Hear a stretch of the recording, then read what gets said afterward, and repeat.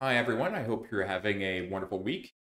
So, um, you know, as you may recall, I started playing unicorns to teach and share everything I learned over the years as a founder, as an investor. And the show has been really structured in two types of uh, episodes. We have episodes where I'm teaching how to fundraise, sometimes with guests, sometimes without, latest trends, etc.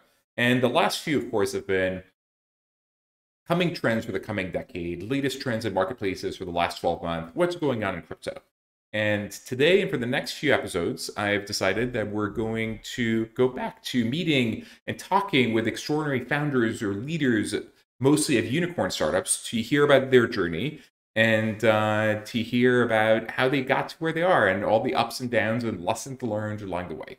And so today it's my great pleasure to uh, receive and introduce my great friend Thomas Plantenga, who actually we'll, we'll go through his story, but a fellow kite surfer, adventure traveler, you know, joined me in the great adventure of OLX and is now the CEO of Vinted, which is a multi-billion dollar European uh, fashion startup that we'll hear more about. So without any further ado, let's get started. So welcome to episode 30 of Playing with Unicorns, a conversation with Thomas Plantenga.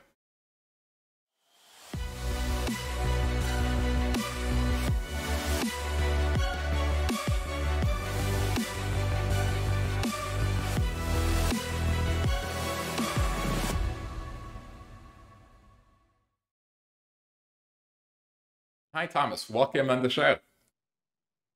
Thanks. Great to be here, man. It's been a while that we've been talking. Looking forward to uh, catch up. Yeah, it has been quite a while. Uh, I mean, I guess you've been super busy uh, as CEO of Vinted. Um, maybe for delve into you know the life of like the unicorn startup CEO. Uh, why don't you give us a little bit of background on like you know your background, where you came from, frankly, even how we met, and uh, and get us to where you are today.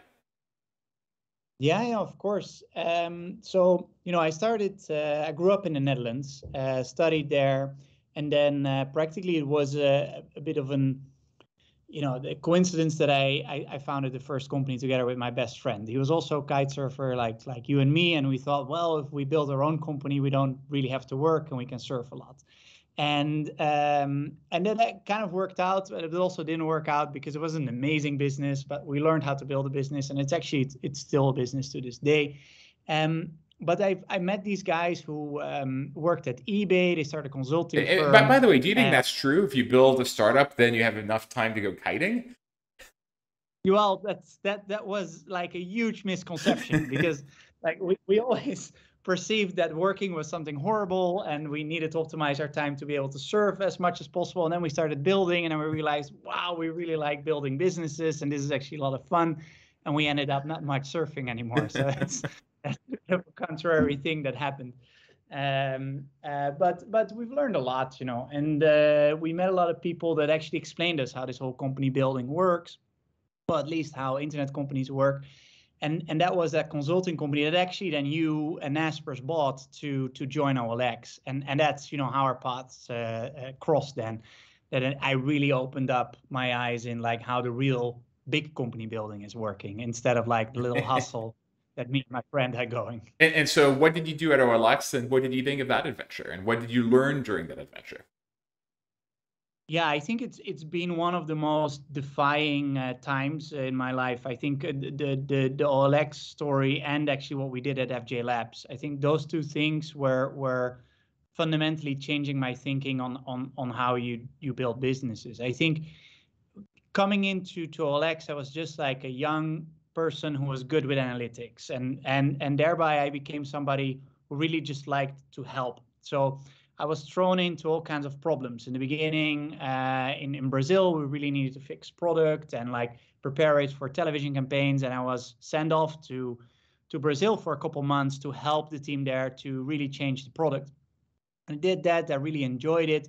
And then practically you and the team decided like that we needed an expansion team, and I became part of that expansion team where I kind of did like I don't know strategy of which countries we're gonna do, and then obviously we went to all these countries and how we would enter that, which was it was you know, I, I remember those days, William explaining, like, okay, this is how we do television, these are the budgets. And I was like, oh my God, this is crazy. How we're gonna do this? Okay, we need an investment logic, how we're gonna build that.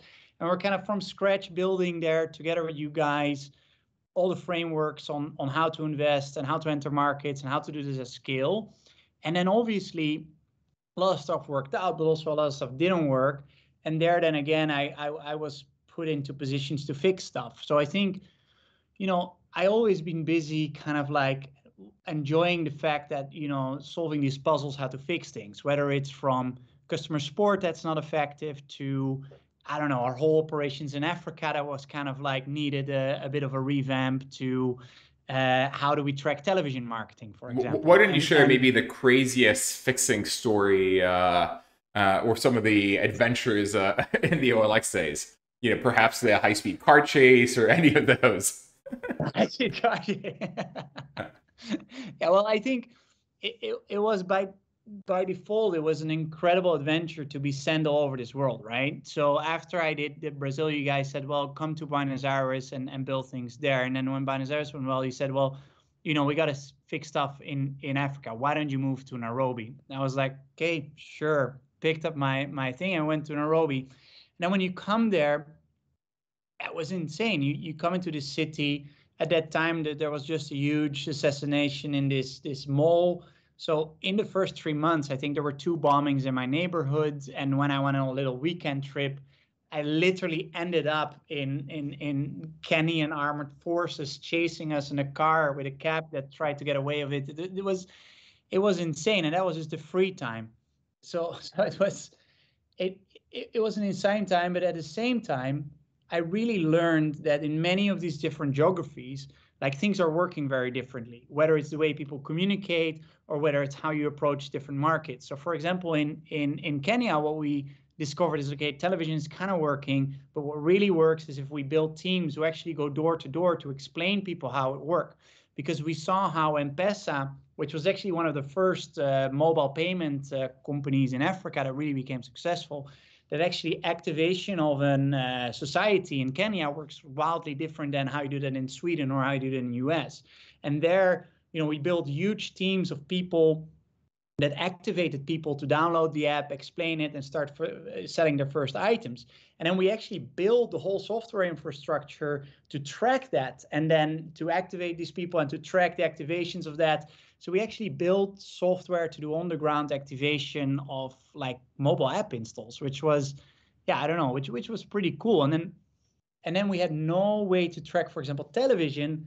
And we developed there together with this, you know, Kenyan and Nigerian team, we developed a way how to track television every second. So we we built in together with Diego. Do you remember Diego? I remember again? Diego.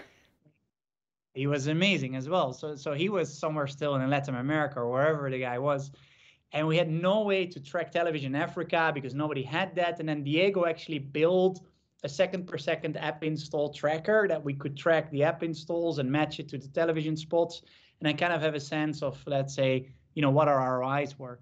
So there again, you know, building from scratch up, but being in an environment where, you know, big budgets were available and big ambitions were there, you know, to conquer markets and to to to to grow fast. So yeah, it was it was it was a wild time. It was, uh, but but learned a lot. You know, it's interesting because when most people when they're learning, etc., actually don't have that phase where you end up in a place where it's a rocket ship, you have infinite budgets, etc. And so the, the I think it's Sheryl Sandberg who once said to say uh, as a career advice, if you could happen to encounter a rocket ship, you know, just hold on for dear life and stay stuck to it because yeah. the lessons learned are so fundamentally different. And also when you're at scale, like everything is statistically significant, right? Like when you're doing product iteration and you have millions of users per day, everything you do is going to be statistically significant. So you could do like the sum total of like 1% improvements a thousand times over is dramatic product improvement. If you have like 50 users, yeah. you know, it's very hard to A-B test because like a random yeah. outcome can completely lead to the, the, the wrong conclusion.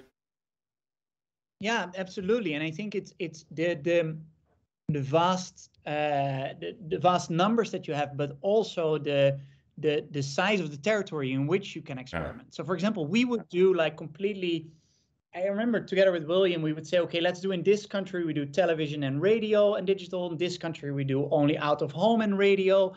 And you really have a wide spectrum of possibilities to test these things uh, in a way that other people cannot and can never do because you have this ability to play in this wild field of, let's say, this huge ambition of this company. And I think that's that's amazing. And I think now we're getting at the point at Vinted that we have that as yeah. well, you know, and, and it, yeah, it's, it's just, it's so Yeah. I mean, like, what's really cool is if you think of it, I mean, OLX is now so big, right? It's like 11,000 employees in 30 countries. It's like 300 plus million unique visitors a, a month. But when, even when you join, which year did you join? 2000 2010. Yeah, I think we're already over 100 million unique visitors a month. So like the, there was already scale. It was a question of like, okay, getting the right unit economics and continue to scale from where we were. And in fact, the biggest issue is once you run out of ability to spend money on Google and Facebook, you know, we had to go to TV to go to the next level and bring the offline people online. And so that was uh, that was really interesting. No, no, I remember that very clearly. Like practically, it was like this we went into this. You guys did the television campaigns, I think, in um, in Brazil and yeah. India, and then uh, so William was like, "Okay, this works." So uh, Thomas, uh, why don't you make a plan on how to expand to many more countries? And then I remember we made a plan and we thought like it was also ambitious. We go to uh, five, six countries, and we came to you and then Martin, I think, and uh, and then we showed the plan and we thought like, oh, this is amazing. We're gonna ask for ten million dollars. And then we were in the meeting and you guys said like, well, do that times five, and then you get five times the budget, and see you next week with a new plan. and then practically we made a new plan, and then you guys said, okay, let's go. And I remember, you know, we were preparing for that, and we went live in 15 countries or something. And I remember that week before we went live, the day before the television would go live, I'm like, oh my God, we're gonna go into history as the the biggest dumbasses who burned the most money ever, or this is gonna work. And I remember, you know, refreshing my my database account the next day. Is it going up? Is it going up? And and then it actually went up. So it was it was yeah it was it was yeah. I mean that, that's kind of the issue with TV, right? Like on Google and Facebook, you spend one thousand dollars, you know if you're right or wrong. And on TV, it's changing by the way. Now you can do connected TV advertising with smaller budgets, yeah. but until the connected TVs, you had to spend multi-million ahead of knowing if it was going to work or not. So yeah.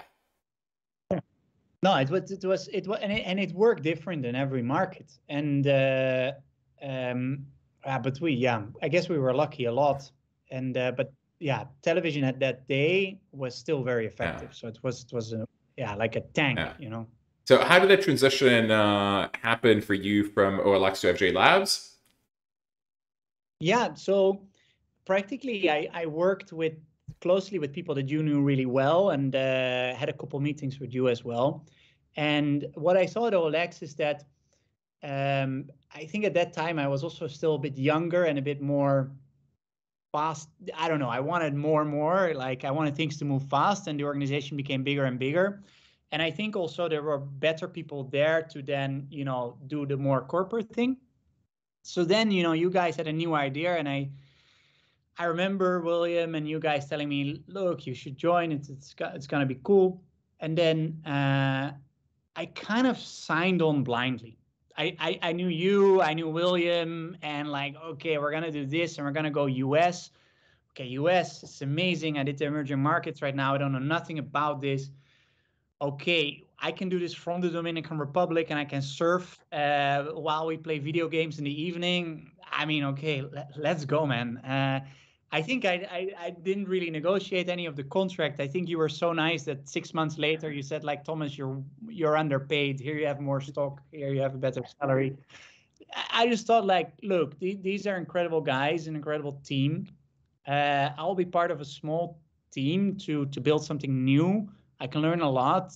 You know, let's give it a go. And uh, and you created conditions that were obviously very attractive to to me to surf and to work and to uh, to do so. So it was yeah, I, it felt like the fun and the fun thing to do and and and to to to explore new things. Uh, that, that was actually yeah. the. the and, and by the way, that also I mean there was no we had no idea early on how it would play out, right? Like we thought no one was going to go after the US because I pushed OLX to go to the US and they're like, no, no, no. And then we launched and then like a few months later, they're like, oh, we're doing classifieds in the US. Uh, we changed our mind. And then everyone else decided to do the same thing. And so doing the merger first with Wallapop, then merging with Letgo and like bringing the crew back together. I mean, that was all pretty crazy. And all in like a year or a year and a half went from like launching a company I mean, to you know being a billion dollar company.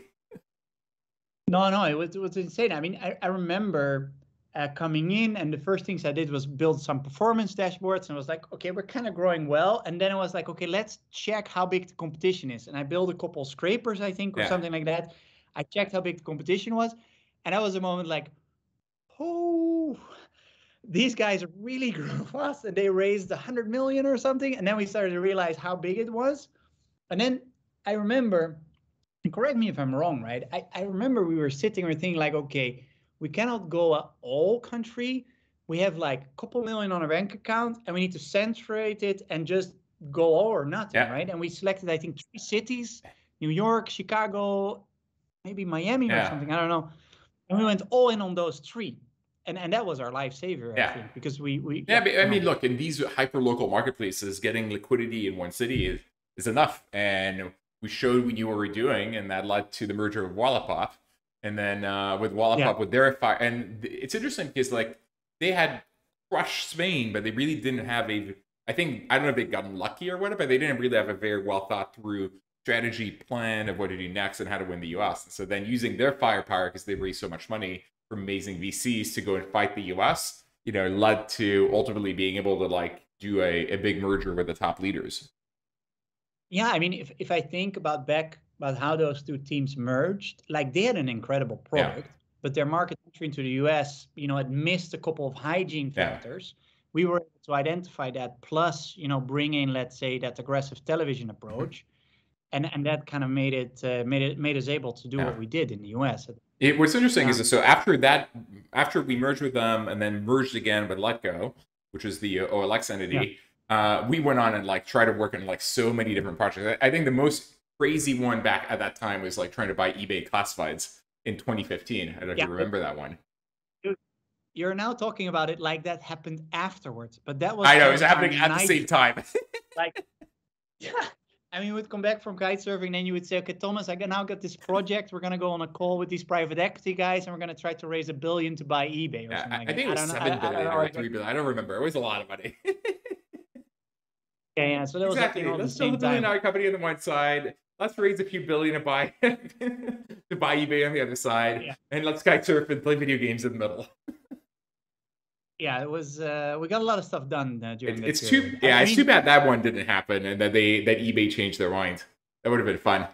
Yeah, yeah, yeah, yeah. Well, well we we yeah. gave it a good try. I mean, uh, it was not that yeah. we didn't put in the effort, but uh, it was not yeah. the right time. And the, the, funny thing is, the right time was last year, and I tried again, and got to the finish line and lost the bid, and the Vinted one. Uh, so you know, but but at the yeah. end of the day, I think in hindsight, I'm not sure you and I would have been the best in to like turn around uh, eBay classifieds because it's like a big yeah. organization with like different product line, different products, different partly political. You know, I think we're better in like thing. I mean, OLX was like built by me for me. like I see something, it happens, and I think going in an environment where it's yeah. not that at all, I think would not have been necessarily to our forte. We might have like died. So I don't know. I mean, I I'm already uh, you know learning you know constantly now to, to, run a company at the size of Vinted and running an eBay that would have not been my. Uh, yeah, same here. So I, for sure. Yeah, that's what I was Great. thinking. Maybe we can get the private equity guys to get like a, a, an operator to like do all the shit we don't like to do and loves focus on like product marketing, positioning, etc. so so how did the transition happen then to to Vinted and and tell us about the Vinted story? Yeah, so so we were um, uh, the the deal with Wallapop and Letgo happened, and um, uh, so we were in New York. And actually, the, the plan was to start a new company with you. I was actually going around New York with new business ideas, interviewing people, and like uh, that was the plan. I also took a week off because we had a bit of an intense period, Um, and um, in, uh, in in that weeks, the two weeks that that period, uh, one of the investors, Elodie of uh, Insight, approached me and said like, "Hey, we saw what you did with uh, with Wallapop. We have this company in uh, in Vilnius. Uh, it's not going that well, but they're great people. Do you want to go and help?" And I said like, "No way. I'm in New York. I'm not gonna go to Lithuania. I'm gonna build a company with Fabrice. That was awesome. And uh, no, love you, but thank you." And the Elodie is is good. Is very good. Not giving up. So three uh, breakfasts later, I said like, okay, I'll, I'll, take a call with the guys if you tell they're so cool. So I take a call with the guys and they're incredible. So like all of these guys grew up in Soviet Union backgrounds in mathematician, engineering, but like not like just doing the studies, like winning medals and stuff like that. At their 13s, they're built like server companies and software for for accounting. I was like, wow, these guys are brilliant and they're so passionate about what they're building. And I said, okay, so send me the data and show me what the issue is. Like maybe I can help a little bit. Showed me the data. And I was like, whoa, okay, you're really in a tough spot. Like metrics were going down. And uh, and I thought, you know what? I felt a little bit of that pain. Um, you know, that that that Wallapop deal. I mean, financially everything was a good deal, but you know, in a way, like we were aiming and we we sold and we had to leave the the, the Wallapop founders alone again, and it felt a bit like ah. Also felt a bit like you know how you sometimes as a founder can yeah. be really part of this huge VC game where in which you're in. And I I felt that pain with Wallapop a little bit, you know, Vagoose, for example. I felt how it hurt them, and I saw it how it was hurting them, and I thought like, you know what, maybe I can help them. At least I will from it because these are incredible smart people. You know what? I'll go over for like a month or so. And they said, okay, can you come over for five weeks? I said, okay, fine. Book me some tickets, get me an Airbnb close to the office, and I'll be fine. And um, so I went. And uh, so I told you, like, hey, man, I'm to go for five weeks and see you in five weeks. And you said, okay, cool. Five weeks perfect. Then we'll meet in Vancouver uh, and we can meet there and uh, or, or in Canada or somewhere you were. I don't know anymore where. And then we can start the new business. I said, okay, that's cool. I'll explore the Eastern European countries and see you soon.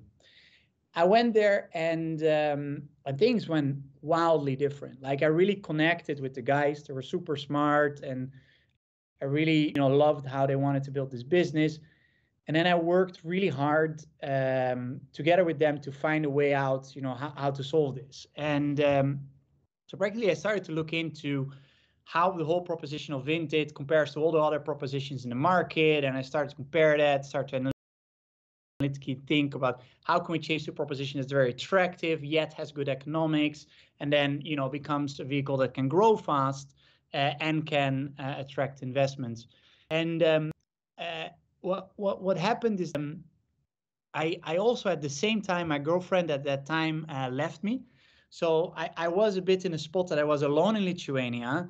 Uh, my girlfriend left me.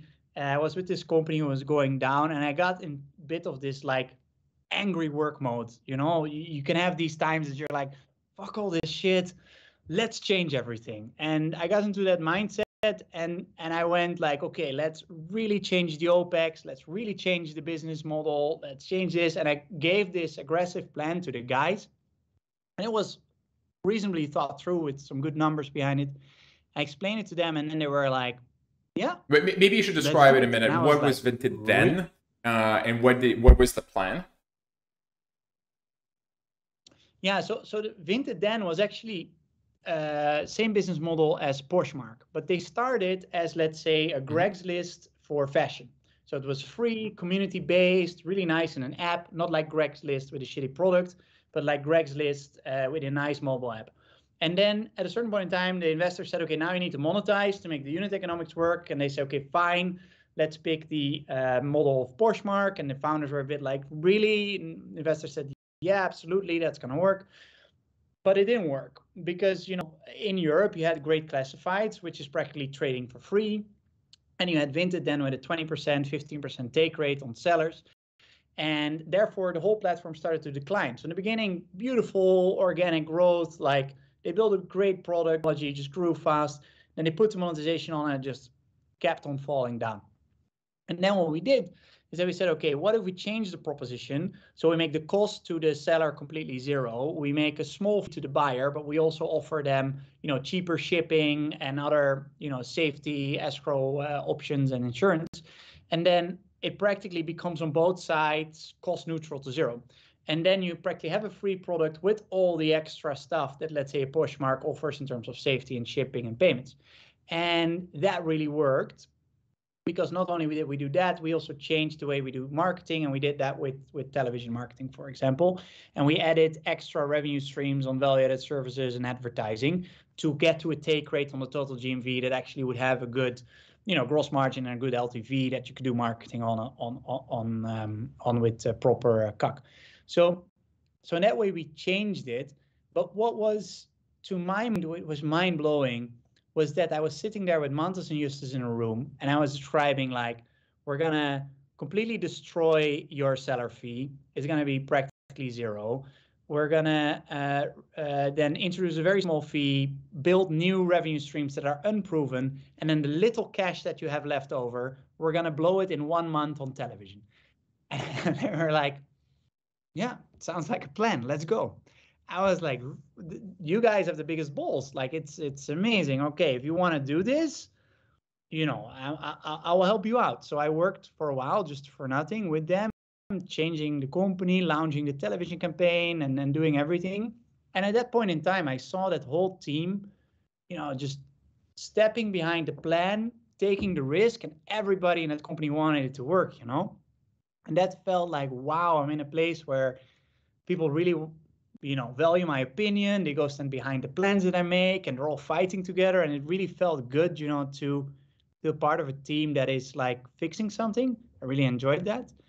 Yeah and then it uh, then it and so that was one year and uh, where does that take us to today relatively speaking?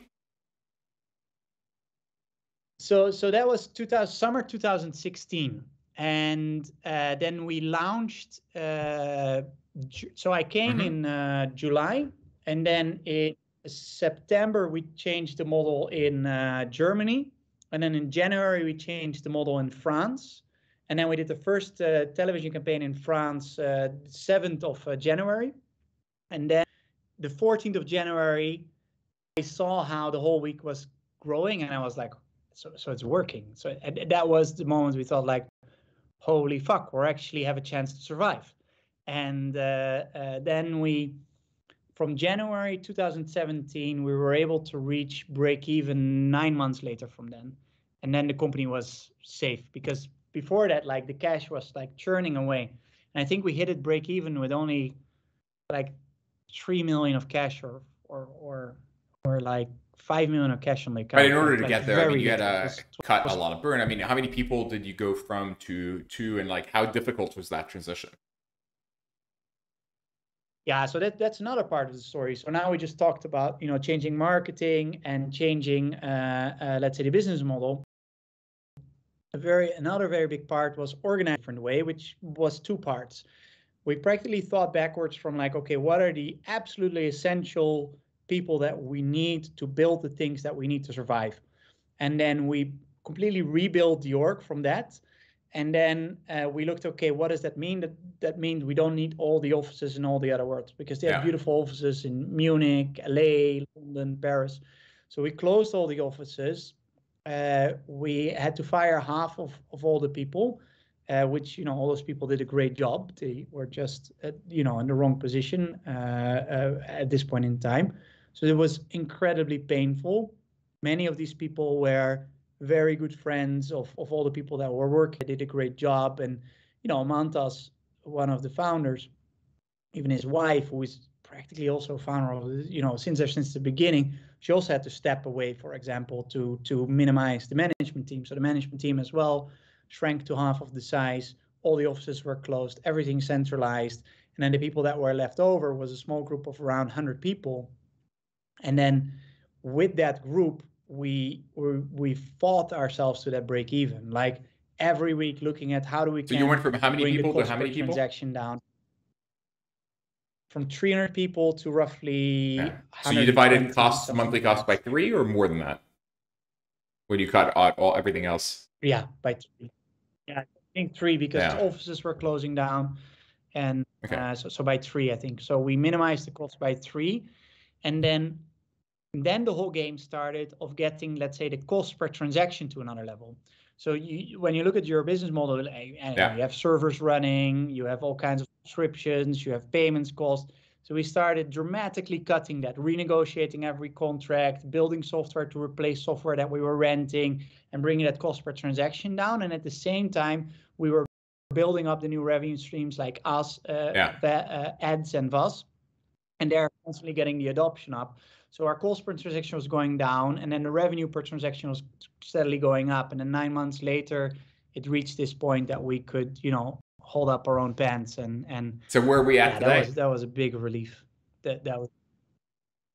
Today we're at uh, yeah we're talking billions of of, of GMV uh, and we're um, we're I think the biggest fashion market secondhand fashion marketplace in After the world. After Poshmark. And uh, we we no, Poshmark. So, so who's uh, bigger? Not bigger. I mean, uh, I, I so who's the? Bigger. You said you're the second largest. So who's the largest? Oh, you are the no, largest. largest, okay. largest, largest. I think. Yeah, yeah I think so. I, am not aware of any other company. Maybe there's someone in China or something. Poshmark is big in the U.S. You could say Mercari is very big in yeah. fashion in Japan. But you know, we have a couple of very big countries where we're very, very big. If you look at the penetration ratios, we are reaching in a country like France, that, that wildly different from what, for example, Poshmark is able to do in the US. So we we we were now a company with um, I think 1,200 people, mostly centered still in Vilnius. We now have an office as well in Berlin and in Amsterdam, where we're building uh, hubs as well. And, and most of your and, users uh, are yeah, in we're, we're, Western Europe, or can you talk to that, or? Yeah, so so practically also one of the things that really worked well for us is staying focused. So we really stayed for a long period of time focused on France. And then from France, we built it out to Belgium first, learned about international trade, then went to Spain and to the Netherlands. Then, uh, uh, then we went into Poland, UK, Germany, Italy, Portugal. So our core is uh, Western Europe, um, and we're expanding in Europe further. Um, and practically, we now cover most of Europe's value. We're still connecting smaller countries and developing the countries that we just connected. So, for example, we just connected uh, uh, the UK and we connected uh, this year uh, Italy. Um, uh, but we have really strong positions there and very strong growth dynamics in those new countries as well. So our core is Europe at this point in time, and we're you know getting ready. Are, to, are there any countries you tried where it didn't work, or any lessons learned along the way? And like so, because we went through the turnaround, and now things are going up uh, is it all up and to the right, or were there also lessons learned along that way? No, no. Like how I tell the story, it looks like gradually everything worked, and but how how the real story is like practically everything failed, and sometimes we had a success. so we we started with France, and then uh, uh, we're so excited. We're like, okay, let's try US, uh, and maybe let's try UK as well because they're both English markets. So we, we tried, and the first try we did there, unit economics were just extremely bad. Like it was not working at all. We're like, okay, this doesn't work. And then we went back to the drawing board. We said, okay, then let's try the UK one more time because it's two times better. Also didn't work. Then we said, okay, you know what? Let's get back to basic. What is the most similar country to France? Okay, Belgium. Let's try Belgium. And then that worked, and we learned a lot in Belgium, even though it's another country which is very similar. A lot of different different things we learn expanding to another country, and you actually learn a lot about France yeah. by going to Belgium. It's it's it's in the details. Um, and and then after Belgium, when Belgium worked, um, we we again tried the UK. Again, didn't work. And uh, then uh, we we tried uh, Germany. Germany didn't work. Okay. Then we tried Spain. Spain worked. And then we continued to invest in Spain and we learned a lot about Spain. And then we became more confident about our game. And then actually, after that, our expansions became smooth. So then the, the, the Netherlands was actually kind of an easy ride. I mean, we had, we, we acquired a, a player there as well, but it, it, it re- we really understood how it worked and we could play out a playbook. So by that time, we had run France through, let's say, a certain level of maturity, and we've seen, let's say, how this story plays out. And we were able to build frameworks. with market phases and understand, you know, how to track it and how to get it done. And at the same time, we massively improved our product on many different things that were little holes before that we were not even aware of. And that enabled us now to, you know, after the Netherlands, to do all kinds of expansions such as Italy. Oh, so you're UK, it is you're in the Portugal, UK now, and it's Poland. working in the UK. Yeah, yeah. So, so, so it's it, that was a, yeah. So I think we tried that market. I, I told you two times, but we tried it like five times, uh, and and like my investors hated us. Like again, you're gonna try this? Yeah. Like I mean, you know Henrik, for example, as well. You know, and it's like he's a very long-term thinker, and he he I, I love him, but he was like, really, again, the UK? Come on, Thomas, get game together. You tried it three times. How stubborn are you gonna be? But we tried again, and then in COVID, what we saw in COVID, we saw real acceleration, and and we thought like, you know what, if it's growing so fast. And the dynamics are really changing. Let's take advantage yeah. of it and throw some money against it and see if it works and then it actually went up and then we really improved the product and then went again with all the learnings that we had from all the other markets and then it just exploded and and like i think in three months on listing levels we were matching depop and and so yeah, us this next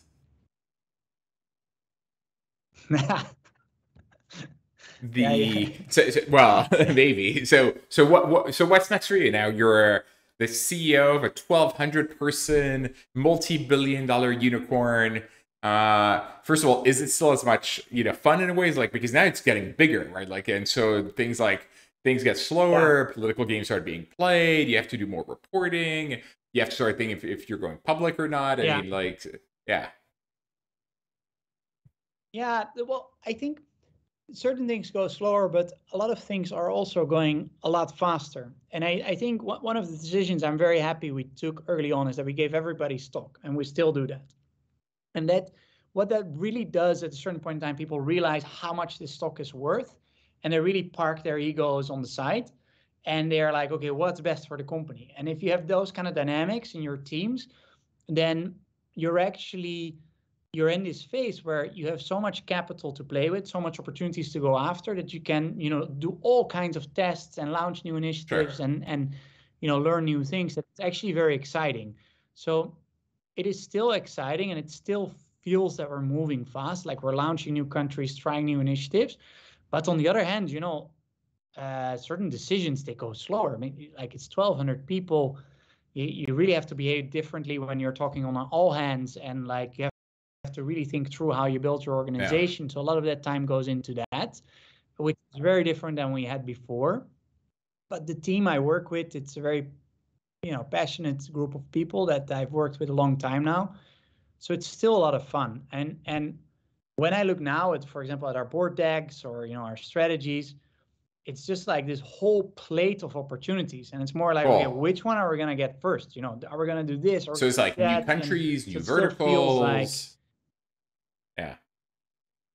Yeah, yeah. So it's from let's say from new business models, new countries, new verticals, new like how are you gonna really, really ensure that let's say over the next decade you build a product that is still relevant and is super valuable for your users, uh, and that is and that and that you then just kind of like in our management team we kind of accept like the product that we have now nice, but five years from now, yeah, if it stays the same, it's dead. You know, we need to really get to another level, different business model, different type of system that really enables us to to add more value to our users. Uh, question from Luke: um, Did you did your marketing strategy follow the confinement periods in the different markets? And so, when people were confined, you do one strategy. When they were not confined, you do different strategy because obviously the the lockdowns were very different in different geos. Or was it unrelated to that?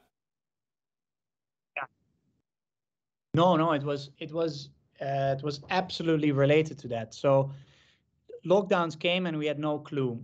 And uh, one of the things that was not even clear is like, are our packages spreading the virus? So in France, there's nobody else who sends more packages, you know, C2C drop-off points than us. So we were sitting with the management team like, if this is spreading through packages, we're the biggest spreader in France, yeah. and we don't want to go down like that. So we actually took a decision completely shut down all our services for like a few weeks and completely rebuild our shipping system, build in delays, align with the government, and then go live again. And then we went live again. Um, we didn't decide to market because it was a very sensitive period, but we saw that everything organically came back. And then we actually did, we felt like, you know, the whole world is suffering. This shouldn't be a period that we profiteer on this. So while there is a lockdown and we're doing this, we're donating a certain amount, and we donated more than a million to COVID relief funds in uh, in Europe. And then when people were safe, we know for sure it's safe. Our you know our suppliers are in a good place. You know the delivery guys are all taken care of. Everything is cool. Then we said, okay, let's accelerate now. And then our marketing was switched on again, and we could market more sure. because it was working better. People were compliant, and and uh, you, you said our uh, suppliers. Are you mostly C 2 C or B 2 C? Okay. Totally C 2 C. Uh, but with suppliers, I mean supplier of uh, shipping services, payment services, so there, we're working with like a huge variety of shippers all across Europe, and all of them obviously needed to adapt, and we want to give them time to adapt, work with them in a way that it's safe for their. Work. So, I mean, very important question. Do you still get? I mean, you you started this entire journey saying, if I start a startup, I'm running a startup, I'm going to be able to kite more and surf more, etc. So, how's your kiting coming along? yeah, kiting, kiting kind of went away, but in um, in Lithuania they have very big uh, mm-hmm. wakeboarding culture. So you have lakes that are like 15 minutes away from the office. Uh, so I go wakeboarding after um, after after work, and summers in Lithuania are long and very warm. So you know I'm wakeboarding three to four times a week in the evenings in the summer, and in the winter uh, they literally have 15 minutes away as well uh, a huge uh, skiing slope where they build a snowboard park. So then I go snowboarding, and uh, during during COVID, I I had the opportunity to go to the coast and work from the coast. And actually, the wind in uh, the Lithuanian coast in the summer is also pretty good. How so cold is the I, water? I still surfed, but yeah, it's like, not warm. It's not warm, but it's so you know, it's it's it's not uh, not the same as your holiday home uh, uh, sea temperature, uh, but uh, but but it's still good. And uh, so this is actually the first year I got some kiting done again. To be honest, you know, the first two years Vinted, yeah, it was just full time work. It it was it was really really tough. Like and the sacrifices my team and I brought then to you know in terms of working yeah, there was yeah. no wakeboarding, there was no kiting. It was just like late night, all of us churning. And there's a certain charm to it. I'm happy that time is over. I look back to it now a bit romantic, even though it was very painful. Um, but but yeah, over the last two years, I actually was really able to start uh, waking again. Uh, anything we didn't cover, we should have covered or discussed. Anything you want to share? Uh, anything I want to share? Well, I, I think one of the things that I um that I think that we didn't didn't mention, but like what I've learned like by being thrown around by OLX over all these countries, is that you know all these different places you have so many misconceptions about how they are and you know and what's going on. And even after living in in in in Africa and in um, in Latin America and the Middle East, even when I had to go then to to to Eastern Europe I thought like, oh yeah, there's gonna be like this poor region of Europe where everything still looks like the Soviet, and and you know, I think if I think of it, I had so many misconceptions about all the places I went through, and and and and I think you know, for many people, you know, realize that and and just explore all those areas, and and and don't be afraid to go there because you can have fantastic adventures and and and build incredible businesses in these areas that might look kind of strange to you from the beginning. So I think that that's one thing we didn't cover, but I think it's important. and know. so you speak Lithuanian now?